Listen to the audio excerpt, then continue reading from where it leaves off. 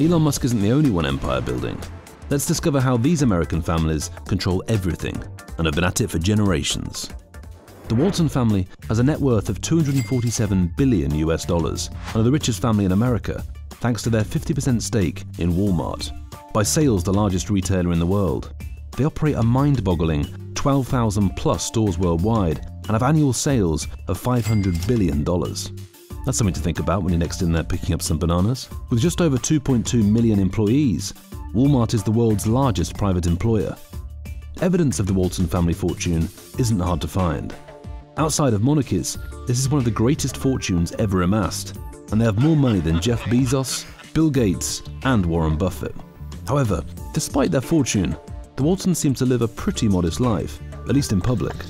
Privately, you occasionally get a glimpse of their immense wealth, like when Walmart chairman Rob Walton trashed his rare Shelby Daytona Cobra. The car has been estimated to be worth as much as $15 million and was one of only five ever made heiress Alice Walton has been dubbed the world's richest art collector, which is a pretty cool title. She's known to have amassed a huge private collection, with original works from Andy Warhol and Georgia O'Keeffe. It's been valued upwards of 500 million US dollars. I'm guessing with that much money to play with, if this collector wants it, she's probably going to get it. The Koch family has a net worth of 100 billion US dollars and are best known for their political activities and their control of Koch Industries, the family are currently sitting on a real estate empire worth hundreds of millions of dollars and have purchased some of the most remarkable homes in the world. They currently have in their portfolio this sprawling New York townhouse worth 60 million US dollars, situated in Park Avenue, New York's most exclusive address, apparently beating out Ukrainian billionaire Leonard Blavatnik for the unit.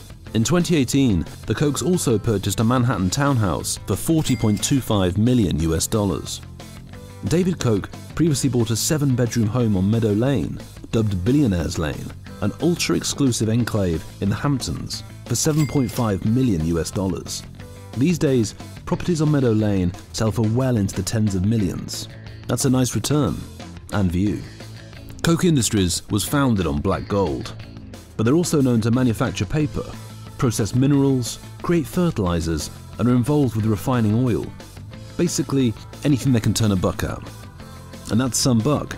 Heads of the family, brothers Charles and David Koch, are famously a bit of a black box when it comes to gaining information on the current sources of their huge income, but have been described as America's very own oligarchs. The Mars family has a net worth of 94 billion US dollars. And I know what you're thinking. Surely that's not from Mars bars. But yes, the Mars family own Mars Inc., one of the world's largest candy and pet food companies, with annual sales of $40 billion. As well as Mars bars, they own Three Musketeers, Twix, and M&M's. Speaking of, more than 400 million M&Ms are produced in the US every single day. Jacqueline Mars drives a top-of-the-range Porsche SUV which can cost upwards of $100,000 and has a personal net worth of $2.4 million, about the size of 100 Donald Trumps. She has something of a penchant for horse breeding too, and owns a 200 acre stud farm in Virginia. Farmland is priced at around $20,000 per acre, meaning her plot is worth around $4 million. Fusaichi Pegasus currently holds the title for the most expensive horse in history, selling for a cool $70 million to the racehorse breeding powerhouse Coolmore Ireland. She also sits on the board of directors for the Washington National Opera, where the most expensive tickets are $748. That's an expensive night out. The Cargill Macmillan family, known as the American Grain family, has a net worth of 47 billion US dollars through the family firm Cargill Inc., which sells and markets food, trades commodities, and provides financial risk management. Agriculture, food, and related industries contribute around $1 trillion to the US GDP each year. Heiress Adriana Cargill was recently gifted a Venice starter home in LA, priced at $3 million. Now, by billionaire standards, to call this place tiny would be an understatement. It's got a footprint of just 2,618 square feet of living space and sits on an absolutely microscopic 0.6 acre lot. However, it's an easy breezy 5 minutes or less walk to the impossibly trendy Abbot Kinney Boulevard and only 10 minutes stroll to the beach. Plus it sits within a guarded gated community. Thus, it sold for a rather amazing $3 million. I mean the place is nice and all, but if we'd paid $3 million for a property, regardless of where it was, we wouldn't want to be worrying about storage space. There are approximately 90 family members that together own 88% of the company. According to Forbes, eight of the family members are billionaires. That must be some family gathering during the holidays. Queens native Estee Lauder founded a cosmetics firm with her husband in 1946 after developing skin creams from her kitchen. Today, six billionaire members of the Lauder family own stake in the publicly traded company, which has 29 brands, including MAC, Origins, and Clinique. Their net worth? 40 billion US dollars. From her kitchen. What was the last thing you made in your kitchen? A turkey sandwich? William Lauder is now the company's chairman and owns this house in Beverly Hills, valued at an eye-watering $30 million. The art-filled home has been described as a 21st century take on Southern California indoor-outdoor living. Yeah, we guess when your house looks like that and it's in Beverly Hills, indoor or outdoor, it's all good. The concept for the Beverly Hills pad was essentially an exuberant update of Truesdale's signature single-story dwellings, with flatline roofs, deep overhangs, and wide expanses of glass that open up vistas and blur the lines between indoors and out. Architect Cantor Trish also craved a home that would be as inviting as it was glamorous. Modern houses can be cold, and I like houses to have heart and soul, she says. Leonard Lauder gifted his massive Cubist art collection worth more than a billion dollars to the Metropolitan Museum of Art in 2013. The collection included multiple Pablo Picasso pieces. Next up, another family brand that we're sure you're all familiar with. The Wisconsin based Johnson family owns cleaning products giant SC Johnson, which has estimated revenues of $10.5 billion and a net worth of 37 billion US dollars. Now, here's one mouth-watering property. We're definitely not architects, but we'd probably describe this one as an alien invasion inspired 14,000 square foot modernist masterpiece. Wingspread, also known as the Herbert F. Johnson House, is a historic house in Wind Point, Wisconsin, built in 1938 to 1939 to a design by legendary architect Frank Lloyd Wright for Herbert Fisk Johnson Jr., then the president of SC Johnson. It was considered by Wright to be one of his most elaborate and expensive house designs to date. The basic layout of the house is centered around the core living space, referred to as the Great Hall on the floor plans, with four wings extended, forming zones for the family. These include the master's bedroom, children's rooms, kitchen and servants' quarters, and the guest rooms and garage. The gigantic dome of the living room features a tall stone shaft that rises from the center, housing a total of five fireplaces. We guess it must get chilly in such a massive house. This ginormous chimney structure further separates the house, dividing the living room into four spaces entrance, living room, dining room, and library. The Boston based Johnson family owns 49% of mutual fund company Fidelity and has a net worth of 36 billion US dollars. Fidelity recently invested in Wheels Up, a provider of on demand private jets and one of the largest private aviation companies in the world. Now that's what we're talking about. Hailing a PJ like it's an Uber. The cost of a Wheels Up membership is typically around $18,000 for a core membership, and then costs on top, blah blah blah. Keep the noise down. I'm calling a PJ. Fidelity has around $3.5 trillion in managed assets, making it the second largest mutual fund company after Vanguard. Abigail Johnson is the third generation of the family to run the company, and she owns a huge shingle clad Massachusetts estate. An estate, not a house, an estate. Johnson loves the Bitcoin and blockchain and latched on early as a personal amusement shortly after the cryptocurrency was launched in 2009. It was the topic of casual conversation because it was this weird novelty thing, she recalled. In 2013, Johnson and about 8 to 10 work friends, techno, general curiosity, offbeat people who are interested in new stuff, she said, began to meet weekly, poking into it and trying to see if there was something tangible for the company. The value of one Bitcoin in 2013 was around $13. Nowadays, it's closer to a thousand. That's some nice return. The Cox family owns media and automotive company Cox Enterprises, which has around $21.1 billion in revenues and a net worth of 34.5 billion US dollars. Jim Kennedy, chairman of the board, owns a whopper of a property in Montana and got into a tug of war over public access to an 8-mile, no connection to Eminem we don't think, stretch of the Ruby River that runs straight through his property. Following Kennedy fencing the public out of the river with razor wire, 200 angry fishermen held a fish-in and took a flotilla of boats through the billionaire's property in protest. Trying not to laugh. Kennedy served as CEO from 1988 to 2008. Under his leadership, revenues rose from $1.8 billion to $21 billion. It's also said that Jim Kennedy was instrumental in helping to bring the Olympic Games to Atlanta in 1996. Now that is some influence. In December 2019, the family sold a majority stake in its broadcast stations to Apollo Global Management for a reported $3 billion. The Pritzkers, a powerful Chicago family, spent the 2000s feuding over trusts and eventually divvied up their massive fortune that includes the Hyatt hotel chain. Their net worth? 32.5 billion US dollars. Hyatt is one of the world's best and most luxurious hospitality brands and was founded by Jay Pritzker in 1957. Park Hyatt hotels are Hyatt's top tier luxury properties, and every aspect of Park Hyatt's 40 hotels worldwide feature a carefully created experience. From the types of ingredients sourced in spa treatments to the style of art incorporated into its properties. You can find Park Hyatt brands around the world, from New York City to Dubai to Montevideo. One of our personal favourites is the Park Hyatt Tokyo, sitting on top of Shinjuku Park Tower. The Park Hyatt Tokyo was the first Western luxury hotel to open in Japan in 1994. Since then, numerous celebrities have called the Park Hyatt home. Director Sofia Coppola loved the hotel so much that she made it a centerpiece in her award winning film Lost in Translation, starring Bill Murray. Okay, so the family has the money and the glamour. But where's the influence, we hear you asking?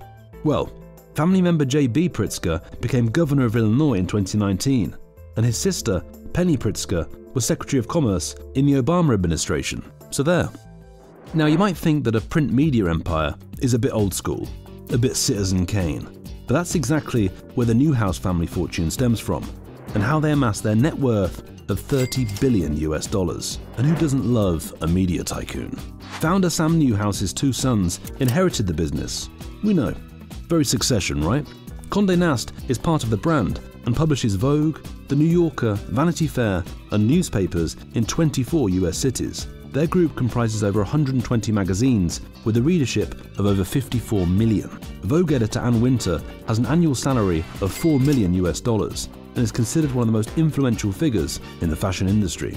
As well as print media, the family controls Reddit and a stake in Discovery Communications. In April 2016, Sam's sons sold cable TV company Bright House Networks for $11.4 billion in cash and stock. I'm guessing there's not a subreddit for what the heck do you do with $11.4 billion? The Duncan family owns roughly one third of the stock in pipeline behemoth Enterprise Product Partners, co founded by the late Dan Duncan in 1968, and have a net worth of $22 billion. Duncan founded gas and oil company Enterprise Products Partners in 1968 with just $10,000. After he died in 2010, the company remained under family control, and his four children inherited a $10 billion estate. The family fortune has since more than doubled to over $20 billion. In 2007, Duncan was the richest person in the city of Houston and the third richest in the whole of Texas. And Texas is big, remember. He had a net worth of $8.2 billion. His children, Randa Duncan Williams, Milane Frantz, Dannine Duncan Avara, and Scott Duncan, inherited a $10 billion estate. Duncan owned the Double D Ranch, a 5,000 acre hunting property in Texas, and he was into hunting in a big way. Duncan was a Safari Club International member who has been given numerous awards for his hunting trophies. Duncan has 407 entries in SCI's trophy record book, including records for killing lions, elephants, rhinoceroses, a polar bear, and other animals. A taxidermy lion can cost upwards of $60,000. The Hearst family has a net worth of 21 billion US dollars. Hearst used to own what is now one of the most expensive homes in America. You might recognize it from a certain horse's head in a bed scene from The Godfather.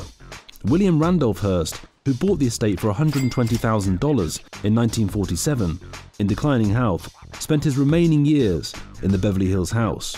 The mansion is only three blocks from Sunset Boulevard and sits on 3.7 acres of property. The house was first publicly on sale for 165 million in 2007, but the price has fluctuated throughout the years. It dropped to 95 million in 2010, a steal, then went back up to 135 million in 2014. In 2014, it was taken off the market and leased at a rate of $600,000 a month, according to the Wall Street Journal. Now, the house is up at 195 million, making it tied for the most expensive home to be listed on the US market. The $200 million Playboy Mansion, though initially listed for more, sold for $100 million. The Brown family are considered the first family of bourbon and is behind Jack Daniels, Woodford Reserve, and Old Forester, among other alcohol brands, and has an estimated net worth of 20.4 billion US dollars. The rarest bottle of Jack Daniels whiskey on the collector's market today is an ultra rare collectible bottle that contains cloudy whiskey. It's from a 1955 vintage, aged five years and distilled into bottles in 1960, and still drinkable apparently, if you don't mind depriving the world of a treasure. It's priced at over $5,000, or over $200 a shot. Over 12 million 9 litre cases of Jack Daniels whiskey are sold across the globe annually. Liquor mogul Owsley Brown built a sprawling Kentucky mansion that was recently up for sale for $6 million in Harrods Creek, an exclusive neighborhood of Louisville. The Avish, the stately columned 20,000 square foot manor, was developed in 1910 by Owsley Brown and his wife, Laura Leons. Construction on the home was completed in 1925 the name translates to Rocky Hill in Gaelic, which was the name of the family's ancestral home in Ireland. We'll drink to that. The Marshall family's wealth is diversified.